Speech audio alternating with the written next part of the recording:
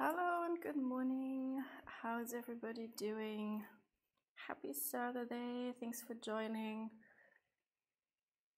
So today I thought I'd do something slightly different. The last times I was just using Visual Studio Code and the terminal and I wrote my own test cases and ran my own code. Um, I was going to go a step simpler today and just use LeetCode, leetcode.com and pick a problem from here. The big advantage is I don't have to make the test cases. Um, if you run this, so if we run this now, oh, okay, this doesn't even compile and it's the wrong language. All right, if we run this in JavaScript, it should already tell us um, what the input is. So this input is given to us by the website, which is kind of nice if you don't have to worry about your unit cases. Have you used any websites like LeetCode or HackerRank? Yeah, HackerRank is another one I know, leetcode.com. Um, but there's a few of them and the base functionality is free. Um, it's kind of fun to do stuff. You don't have to worry about the unit tests. So when you run it, it runs with one test case and when you submit it, I think it should run with multiple test cases. All right. Okay, so the problem that we're doing today, oh, by the way, is my audio and everything okay? Um, I had this joint stream with Kristen on Thursday, which was a lot of fun. If you want to know how to put, how to send ASCII text to the Google Cloud Vision API and then use ML to have the computer or the API read the ASCII text for you. Um, that was a cool stream to watch. There should be, there's a recording. Yeah. Yeah, let me know in the chat if there's issues with the audio, or if the screen is half cut off. So the problem I want to do today is the number of islands. I think this is a good interview question for an internship or somebody junior, or if you do a part two to this problem or some other parts, this is good for a typical whiteboard interview. All right, so here's the problem. I wonder if you can read that well. Oops, wrong button. This one here. All right. Given a 2D grid map of ones and zeros, where one means land and zero means water, count the number of islands. An island is surrounded by water and is formed by connecting adjacent lands horizontally or vertically. You may assume all four edges of the grid are surrounded by water. Okay, so we have a 2D grid ones and zeros. Ones mean land. And we want to figure out how many islands there are. So here's an example. So there's this island that has this weird shape that's like an upside down U almost. You see that? So they're all vertically horizontally connected. So there's one island in this map. And then in this example, there's one rectangular map in the left upper corner then there is one map consisting of just one land tile, and then there is another map, another island consisting of these two ones. So there's three islands on this map. Okay, does that make sense? All right. Hi, Gwenareth. Oh, you're German. Everything's good. Which part of Germany are you from? Or do you just know some German? I guess in Germany it's 5 p.m. now, so it's a pre dinner stream. oh, Berlin. Yeah, oh, Berlin's a lot of fun. It's a cool city.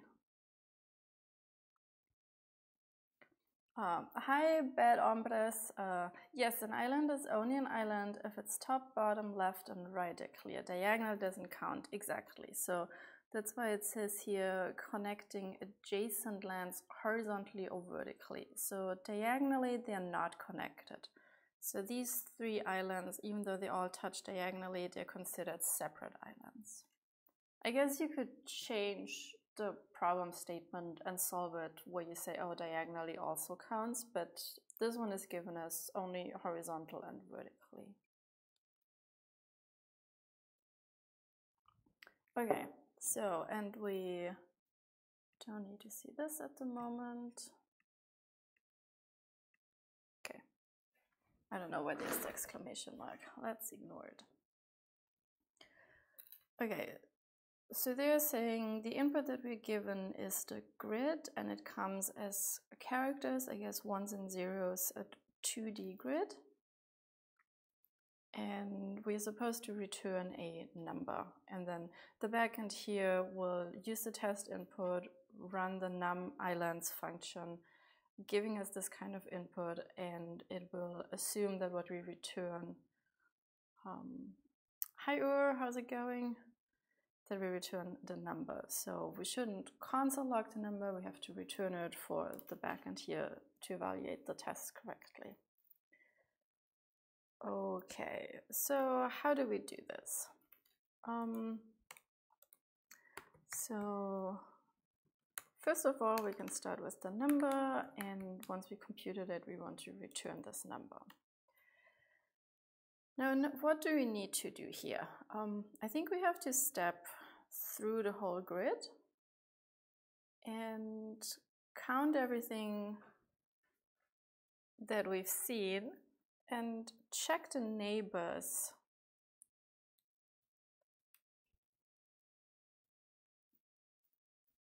Yep, so I think what I want to do is I want to go um, row by row from top to bottom.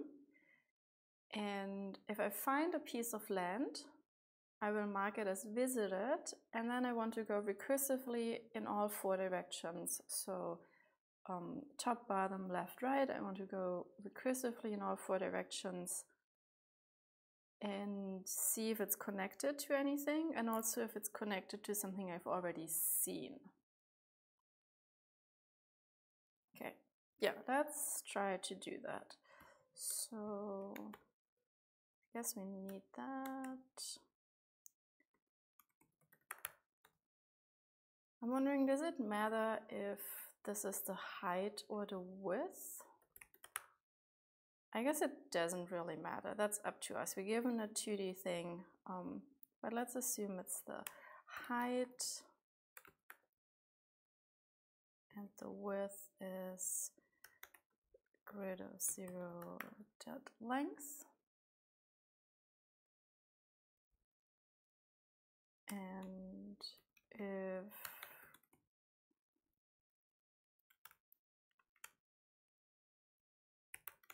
if grid that length, we have to handle this edge case here. If we're given an empty grid, then there's no islands on it, so we can return zero. So now we've checked that we have at least one row in it, so we can take the length of that row, and we have a height and a width of our grid. Okay, so now I want to step through the whole grid, I think. So for const row of grid for const character of row. So now we're going through every character. Let me just think here of the naming makes sense. So I'm getting a row of the grid, which means grid at length is height. Yes, that makes sense. Now for every row, uh, for every letter, if C is equal to 1, uh, it's hard to tell if those characters, if they are numbers or if they are strings. Let's do it like that. If it is equal to 1, then we want to increase the number of islands.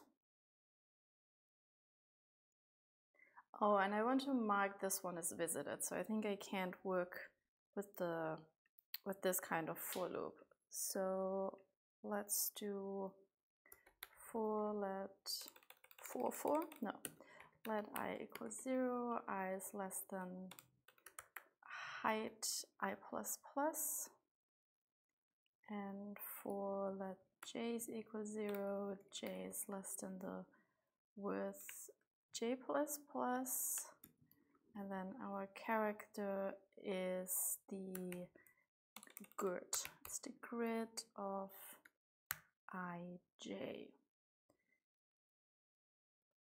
Those 2D things always get me. Um, Okay, so if we're first doing the i less than the height, yep, that should work. Now, if that character is equal to 1, we want to increase the number of visited ones, and we want to set grid of ij's equal to, how should we mark something that's visited? Let's just mark it with a plus. And I think now we need to recursively look at all the neighbors. So now we, we need to visit the neighbors. Um, so now we do a visit function and we give it i minus 1 j in the grid and so on. So we go up, down,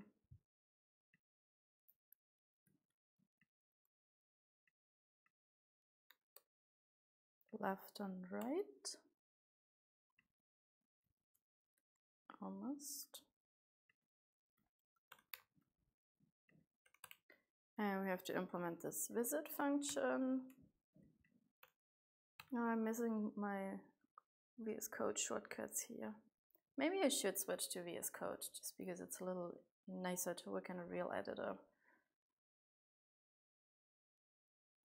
Okay, so I want to go recursively to all the neighbors and also mark them as visited.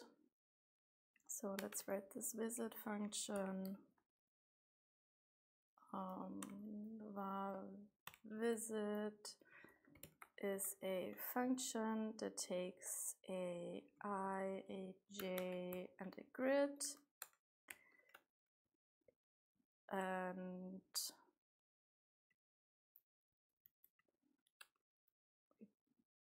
do need these numbers. We need the height and the width. So if i is less than zero or if i is equal to the height oh, we can't do anything similarly if j is too small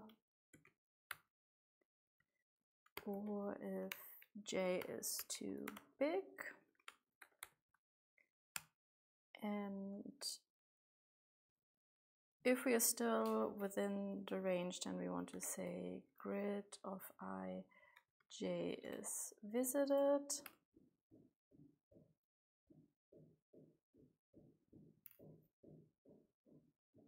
Oh, I know we need to visit all of those.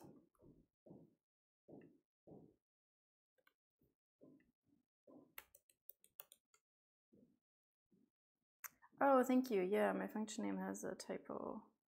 Thanks, Kaisi. Yeah, I think I'm just going to write into the grid everything that I've already counted. So when I encounter this first one here, I will recursively go down and mark everything as we already counted this island. Um, and then I can go through and I only need to count the ones that are new and I think I just copied and pasted too much code. So this visit function of an ij marks it and then visits the neighbors. So instead of marking it and then visiting the four neighbors, I think we can just do it like this.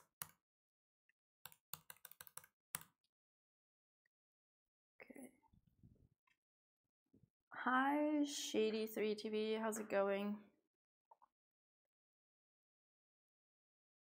All right, what do we think of this?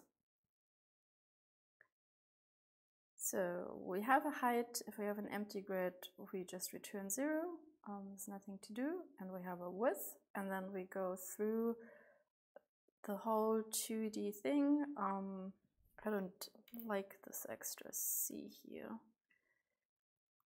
And if we find an island, a piece of land that we haven't visited yet, so if that piece of land is equal to one, then we increase the count and now we visit ij on this grid. Um, and anything we visit, we mark as already visited. And then we visit left, right, top, bottom. And if we are out of bounds, we don't do anything. Okay, should I run this?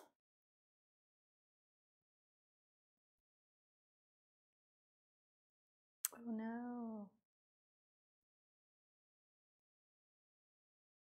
What is wrong with function ij grid? Oh, maybe you're not allowed to write before the comment?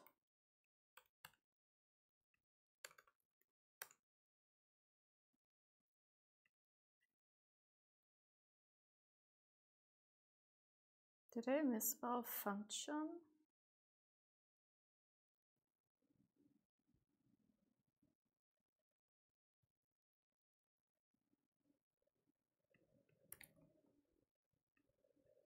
Not quite sure I see what's wrong is function.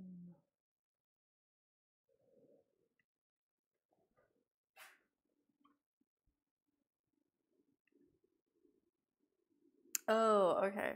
Sorry, never mind. I should have looked at this arrow right away. I can expand it. Didn't notice that. Oh, no, I don't have any space left. All right, so maximum call stack size exceeded. Okay. Yes, because what are we doing here? So we are visiting everything and that's not okay. I'm like marking everything as a plus. I don't want to do that. Uh, there's a, a check missing whether something is equal to 1. So if you find a 1, then you mark it and visit it. And so that's what's missing here. So now we're visiting the next one. And if grid is not equal to 1, then we can return right away, right? Because it's either already visited or it's water. And in both cases, we don't want to venture out from there. Yes, okay. So for this first input, output is 1, expected is 1. All right, let's submit that. Okay few seconds ago, runtime error.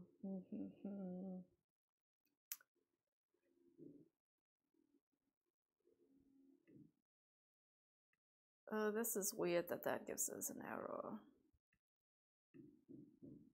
Because this is exactly the input from the test case where everything ran fine. So I wonder if it has to do with the global variables or something.